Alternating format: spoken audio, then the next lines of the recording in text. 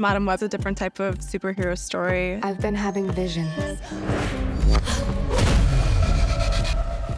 She sees things that she doesn't know if they're dreams. I don't understand what's happening. It's like in blips, she'll experience the future and the present. I think I'm seeing the future.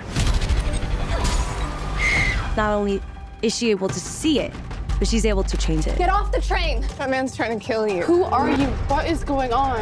This film and this story catapults her into discovering her superpowers. I can see the future. Oh, she didn't see that coming? That's not how it works.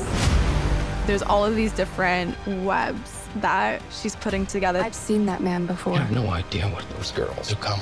Ezekiel is able to see that all three of us develop into the superheroes that ultimately kill him. Trying to change what happens. Get down!